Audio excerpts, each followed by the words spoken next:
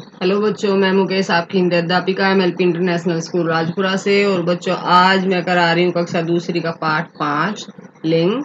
तो लिंग क्या होता है? शब्द का वह रूप, जो उसके पुरुष या स्त्री जाति के होने का बोध कराए, लिंग कहलाता है। लिंग के प्रकार क्या क्या होते हैं? लिंग के दो प्रकार होते हैं।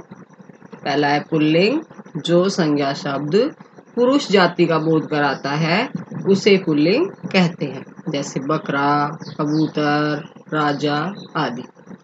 अगला है स्त्रीलिंग, जो संज्ञा शब्द स्त्री जाति का बोध कराता है, उसे स्त्रीलिंग कहते हैं, जैसे बकरी, कबूतरी, रानी आदि। अच्छा बच्चों, इसके बाद मैं करा रही हूँ, ये कुछ पुल्लिंग शब्द दिए गए इनको स्त्रीलिंग में बदलना है। नर, नारी, सुनार, सुनारिन, लड़का, लड़की युवक, युवती, गायक, गायिका, बूढ़ा, बुढ़िया, नाना, नानी, बुढ़ा, बुढ़िया। दादा, दादी, वर, वधु, माली, मालिन, आदमी, औरत सेठ, सेठानी, भाई, बहन, लेखक, लेखिका, पाठक पाठिका सूत, सुता, हिरन, हिरनी।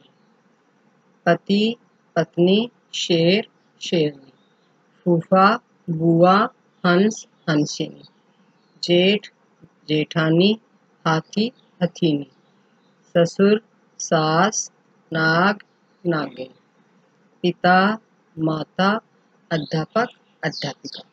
तो बेटा ये जो भी मैंने वर्क कराया है, ये आपको अपनी फेयर नोटबुक में सुंदर राइटिंग में लिखना है और याद करना है।